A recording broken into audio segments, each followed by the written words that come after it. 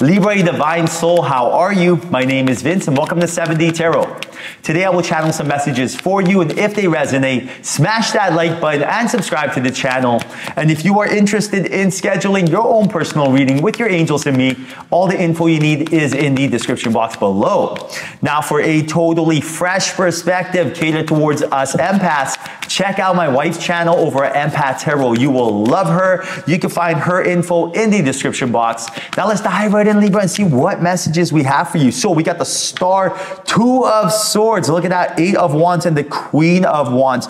There is a big realization that's going to lead to a major event coming into your life. This event is going to be life changing and I even see the possibility of travel. But in order for it to happen, you have to let go of fear and anxiety and listen to your intuition from the, which is really your past experiences. So understand there's a big realization coming, a aha moment, some clarity that you've been waiting for that's going to lead to a major event, right? You're going to be like, ah, shoot, I should have been doing this this whole time.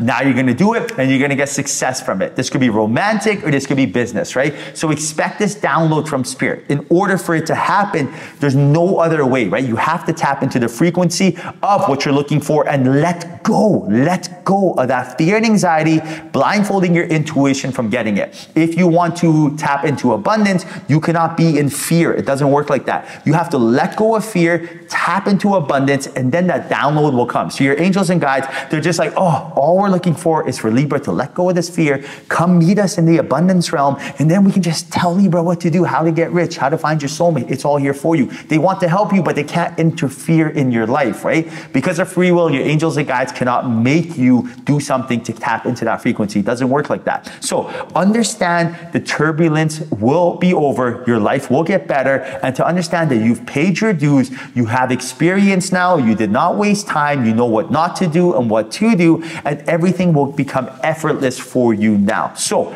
right now, there is going to get an aha moment clarity coming into your life. In order to hear this message, you have to be able to hear your guides, right? Your guides are going to be trying to speak to you, but they can't because it's so loud. Now, you're blasting music. What is this music? Thoughts. When you are thinking, thinking, thinking, you can't hear a word they have to say. That's why if you go look around, you know, ask your, ask why your neighbors, your coworkers, your friends, why are they not, don't they have inner peace? Why aren't they, you know, uh, financially where they want to be? Or why aren't they, you know, spiritually where they want to be, right? What, the, what, what do they all have in common? right? Or what don't they have in common? Which is tapping into their higher self. The moment you start tapping, look at the card that came out. The moment you start tapping into the higher self, look what happens for you. That is it. That Ten of Cups, that's that inner peace. That's that life's purpose. That's that true tranquility, that harmony, that, that, that really that motivating factor, that monetizing your passion. Like everything you're looking for, it's right here for you, but it connects with your higher self. It goes hand in hand, right? When you don't resist anything, you don't resist everything. So right now it's like, your angels and guides want to speak to you, you have to take your foot off the gas to hear what they have to say. Now, how do you take your foot off the gas? Which is the question, right? So imagine you're driving for 16 hours out the day, full blast. Foot's on the gas, just the engine just mm, going, right? Now imagine how hot that engine gets. Now imagine taking your foot off the gas for just five minutes. When that engine gets five minutes of, of time to cool down, then it's gonna make a huge difference, right? How do you take your foot off the gas? Meditate for five five minutes. Now, why do I say five minutes? Because it's an easy number to wrap your head around, right? If I would have said 15, 20 an hour, it would have been more difficult. But I want to explain to you how five minutes is better than nothing. And that engine, right, taking your foot off the gas for five minutes, it will cool down. That's what you're looking for. You're just waiting for a moment so your, your engine cools down. Then the downloads come. Do this, do that. Here's where your soulmate is. Go here, go there. It all comes like that. But because we're so caught up in a stimulated, fearful state of this matrix, constantly bombarded with fear and anxiety, doubt, worry, jealousy, envy, animosity, pain, all the human filters that we all go through from our human experiences, our ego has control and prevents this this from happening. So right now, if you're waiting for that big realization that's going to lead to that big life-changing event in your life, you have to understand that you have to get out of your comfort zone in order to manifest it, right? How do you get out of your comfort zone? How do you become more decisive? By having the confidence that you need to do so. Be confident in the fact of knowing that this works, right? For example, you may be asking yourself, oh, you know, what do I do? I don't know where to start, right? Very fair. Well, right now, you have the heads up. I would not waste a second of your time if I wasn't 100% certain this works. This is the law of attraction, law of assumption, quantified magnetic measurable energy that is not hocus pocus, guys. This is actually how it works. Law of gravity, real. You can't see, touch it, or taste it, but it's real. Law of attraction, it is 100% real. Check out Dr. Joe Dispenza. There's 5,000 studies, measurable studies uh, done how they can measure magnetic energy. It's not hocus pocus.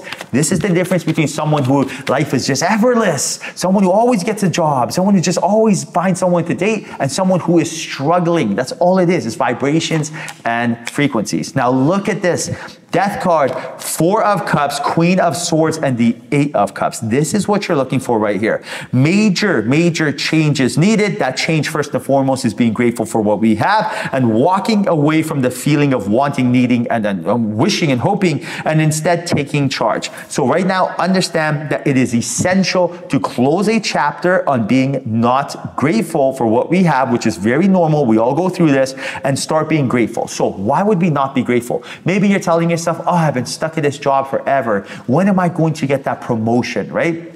Fair, but understand that that does not help us. You have to tell yourself, I am so grateful to have a job. I'm so grateful to be able to wake up, go somewhere, pay the bills. I'm so grateful to have something to do so I don't lose my mind, right? When you look at it from that glass half full perspective, what happened is you're telling spirit, spirit, I know how to play this game. Wink, wink. Thank you, thank you, thank you. Spirit goes, ah, Libra, well done. You do know how to play this game. All right, in that case, let's bring some opportunities into your life.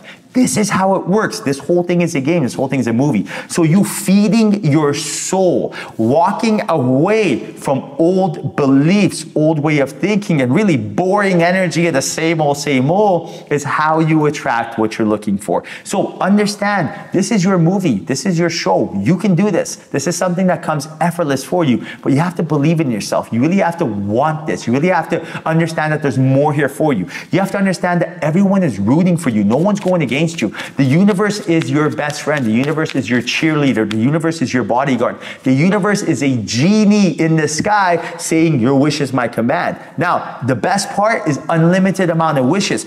But the part you have to be aware of is that you wish your, your wish is my command goes both ways. So make sure your wish is something that you is going to help you in your life, right?